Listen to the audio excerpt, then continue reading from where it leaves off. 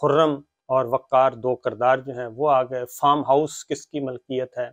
दबे लफ्ज़ों में पूछा गया और उसका जवाब जो है, वो उस तरीके से नहीं दिया गया। क्योंकि दबे दबे लफ्ज़ों में बताया गया कि वो किसी अपना किसी मिलिट्री ऑफिशियल का है, ये भी कहा गया। और उसके बाद उसका अगला जवाब, उसका जवाब उस तरीके से नहीं दिया गया, क्योंकि इसमें बहुत सारी चीज़ें थी कि जो फिलर थे कि क्यूज़ वो कहते हैं क्यूज़ जो हैं वो थी एक क्यू दूसरा क्यू तीसरा क्यू